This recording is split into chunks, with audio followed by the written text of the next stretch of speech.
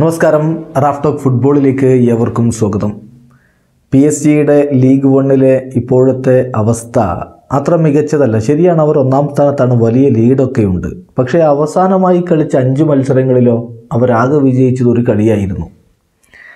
Lionel Messi കഴിഞ്ഞ മത്സരം കളിക്കാനുണ്ടായിരുന്നില്ല പക്ഷേ അതിന് മുമ്പത്തെ മത്സരമൊക്കെ അദ്ദേഹം കളിച്ചിട്ടുണ്ട്. ഡിമരിയക്ക് ഇപ്പോൾ കോവിഡാണ്. എംബപ്പെ കളിച്ചുകൊണ്ടിരിക്കുന്നുണ്ട്.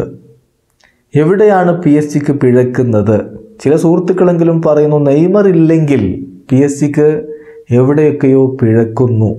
നെയ്മർക്ക് പരിക്കേറ്റത് മുതലുള്ള പി എസ് സിയുടെ ലീഗ് വണ്ണിലെ കളികളുടെ കണക്കൊന്ന് നമുക്ക് കൃത്യമായിട്ട് നോക്കാം. അഞ്ച് കളികൾ പി എസ് സി കളിച്ചു നെയ്മർ ഇല്ലാതെ ലീഗ് വണ്ണിൽ.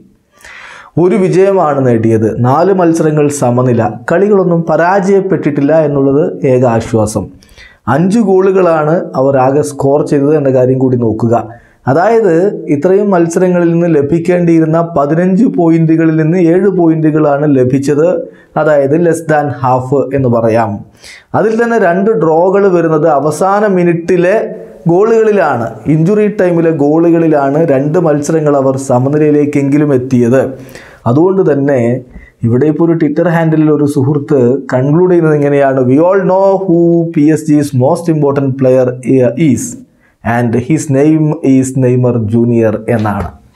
ഒരുപക്ഷെ ഇക്കാര്യത്തിൽ വ്യത്യസ്തമായിട്ടുള്ള അഭിപ്രായങ്ങൾ ആരാധകർക്കുണ്ടാവും.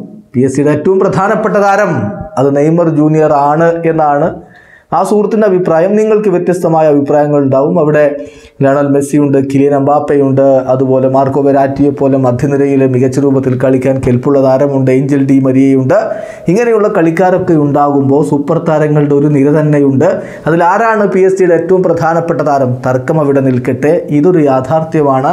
ഈ സൂപ്പർ താരങ്ങൾ ഒരുമിച്ച് കളിക്കുമ്പോൾ പി എസ് സിക്ക് അവിടെ ഒരു കോമ്പിനേഷൻ വർക്ക് ചെയ്യുന്നുണ്ടോ എന്നൊക്കെയുള്ള ചർച്ചകൾ നിലനിൽക്കുമ്പോൾ പോലും സൂപ്പർ താരങ്ങളിൽ ഒരാൾ മിസ്സാകുമ്പോഴേക്കും പി എസ് സിയുടെ ആ ഒരു ശക്തി വല്ലാതെ ചോർന്നു പോകുന്നു എന്ന് കാണിക്കുന്ന ഒരു വ്യക്തമായ കണക്ക് തന്നെയാണ് ഇത്. വീഡിയോ അവസാനിക്കുന്നു.